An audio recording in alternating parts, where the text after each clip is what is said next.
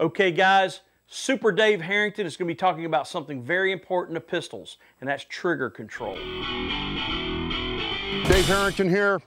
I want to take a look at how to break down proper trigger manipulation. You can call it what you want. I like to refer to it as manipulating the trigger properly. Now, from a standpoint of, you know, basic safety, your finger's outside the trigger guard until you make the decision to fire. Well, that puts the onus on you to develop the ability to put your finger on the trigger consistently and take out the mechanical slack to the wall and press the shot clean. But how do you practice that? Well, I broke it down for you and here it is. What we're gonna do, um, I'll dry fire this first. Pistol's unloaded and cleared. You're gonna uh, start with your finger outside the trigger guard.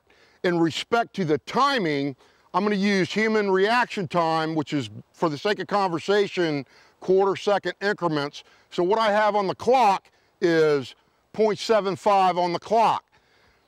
The first quarter second is for the response to the beep. The second quarter second is to find the trigger, take out the mechanical slack to the wall, and the last quarter is to press the shot clean.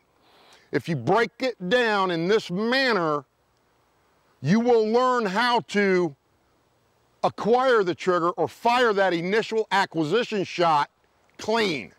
All right, here we go.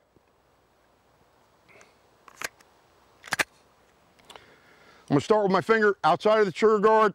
My target is uh, AC steel, approximately 10 yards to my front. Here we go, stand by.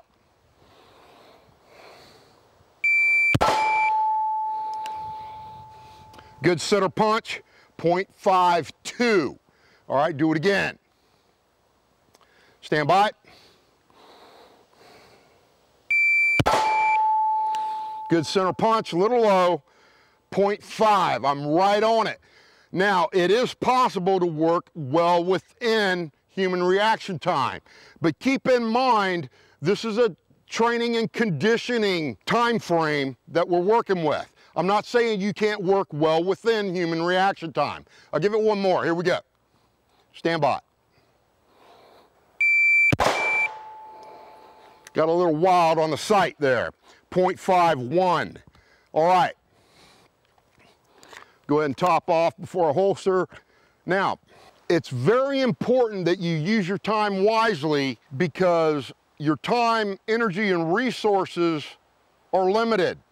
Not everybody has the same, it's not the same formula for everyone. Approach it, break it down, thoroughly understand what you need to do and how you want to do it, and keep at it. Train hard, practice harder. That's all I got.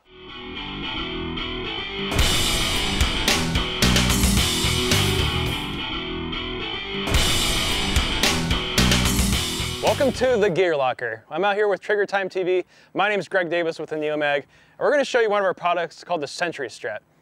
When I started doing a lot of rifle work and I started doing backpack rifle work, the more I, I talked to my law enforcement and military friends, all of us had issues with our, with our slings and managing those slings and keeping them staged correctly.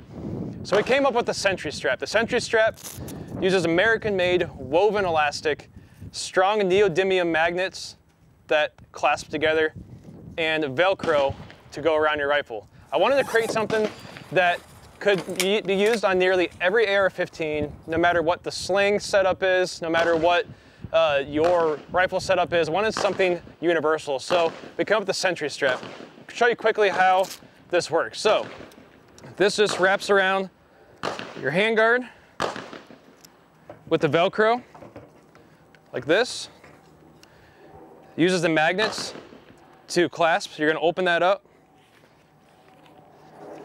You're going to double your sling over, close it back up like that.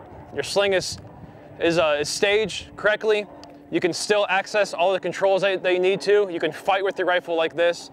It's not gonna cut, get caught up on your center console and your backpack and your safe.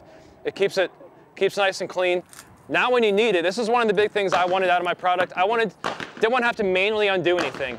When I need it, all you gotta do is grab your sling, grip and rip. It breaks free It sets itself back up again with those magnets and you can get to work.